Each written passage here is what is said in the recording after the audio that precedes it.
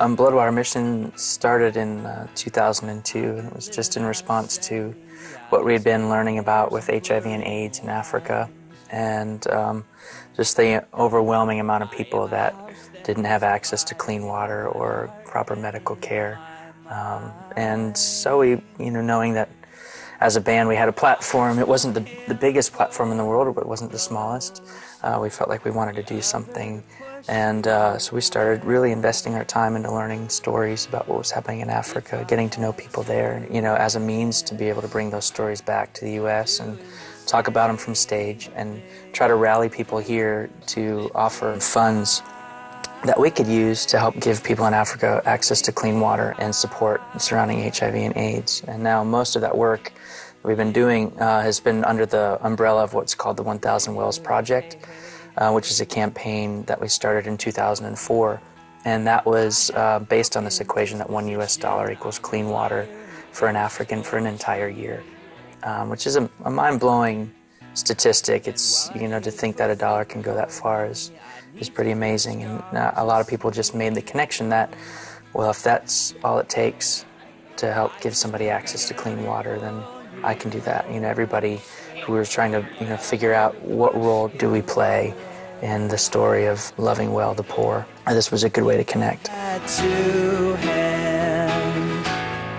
Since then, we've been able to um, complete about 700 water projects in 13 different countries in Africa, but it's really been able to give water to a little over 500,000 people.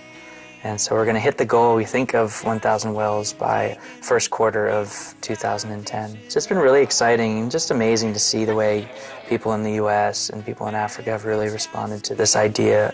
And just that we've really been able to be part of the story that is making Africans heroes in their own communities and helping them grow their communities into something that is, you know, healthy and sustainable. Like Seems to be kind of a, a uh, one fabric that's woven into, or one thread that's woven into the fabric of the record is, is the longing um, for to be known and to know. There's quite a few songs on the record that tackle that issue. Closer being one of them, and Heaven being another, and, and it's just this idea that um, you know there's so many barriers that keep us from trusting each other enough to let each other carry burdens.